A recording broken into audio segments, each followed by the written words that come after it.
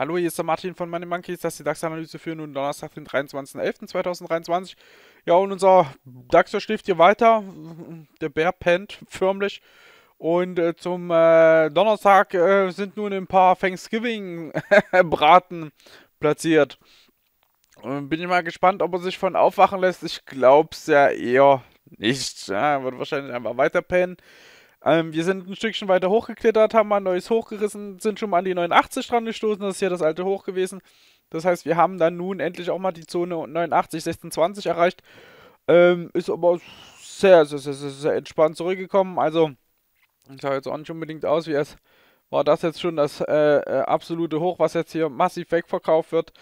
Da ist noch viel Entspannung drin gewesen, aber man muss halt eben auch ganz deutlich sagen, die Aufwärtstrenddynamik, die hat halt brutal abgeebbt. Also da ist nicht mehr viel los.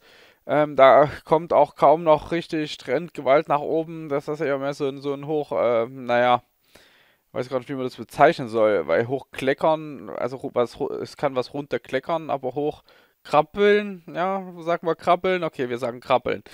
Ähm, ist eher mehr ein Hochkrabbeln. Aber vom Tagesschluss gut platziert, 58 haben wir stehen auf der Uhr. Das heißt, wir sind über den Hochs der letzten Tage per Tagesschluss. Wir haben Aufwärtsgap gestellt, wir haben das Aufwärtsgap offen gelassen. Wir haben vom Tag etwa 50 bis 61 Prozent wieder korrigiert, aufgedreht. Tagesschluss über die Vortage wäre Stand jetzt erstmal eine Vorlage am Donnerstag noch weiter nach oben zu gehen. Kann aber wieder sein, dass es so wird wie am Mo... Nee, was war jetzt? Mittwoch. Dass es so wird wie am Mittwoch und der sich wirklich einfach nur früh ein paar Meter hochstellt und dann stehen bleibt. Ja, wenn die Amerikaner hier ihre Thanksgiving-Braten alle futtern, ähm, wird nicht viel Bewegung sein. Wenn die Amerikaner auch geschlossen haben, neigt unser DAX eher mehr zur Ruhe und Entspannung. Und von daher könnte ich mir vorstellen, dass wir früh vielleicht eine kleine Initialbewegung kriegen und er dann wieder verharrt. Aber sagt niemals nie gab auch schon einige Feiertage bei den USA, wo unser DAX richtig überrascht hat und gut Punkte geleistet hat. Ja, also würde ich würde den Tag nicht grundsätzlich abschreiben, aber es ist trotzdem aufzusehen, dass unser DAX dann eher, ja, ich sag mal, ab Mittag stehen bleibt. Ja. Ähm, wir beobachten uns, äh, wir gucken uns trotzdem genau an. Ja. Und wenn er schön oben durchzieht, ihr kennt ja die Ziele, ihr kennt die Bereiche, die er anlaufen kann. Jetzt wird erstmal 89 bis 1620. Das ist noch, das ist noch ein bisschen auszufüllen. Dann kann er auch sogar nochmal nach unten weg reagieren. Und wenn er drüber kommt, ist dann 16.120 bis 16.140 die nächste Station. Das ist die Unterkante vom Gap im Tageschart. Unten bräuchte man, ja, ich sag mal unter 39. Aber gut, dann hat er hier auch bloß das Gap bei 910 rum. Könnte auch schon vom Gap schon wieder nach oben drehen.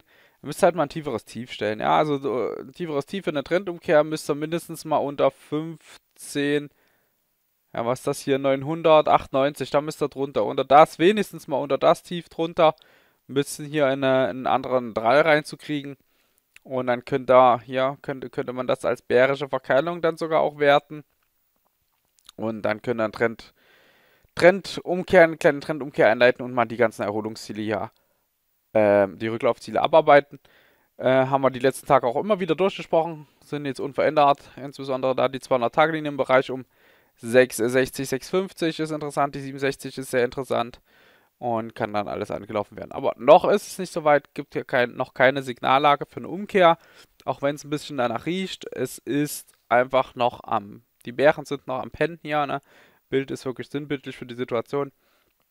Und deswegen würde ich sagen, im Zweifel wenn eben keine Signale nach unten kommen, steigt er weiter. Dann macht er oben noch weitere hoch sein. Dann können wir uns wehren, wie wir wollen. Das macht er. Und von daher ist Long dann die bessere Wahl, ja, als auf der Short-Seite immer weiter ins Minus gedrückt zu werden. Ja, der muss nach unten umtriggern. Das hat er nicht getan. Punkt. Ende aus. Ich wünsche euch was. Hört uns morgen wieder. Bis dahin. Tschüss.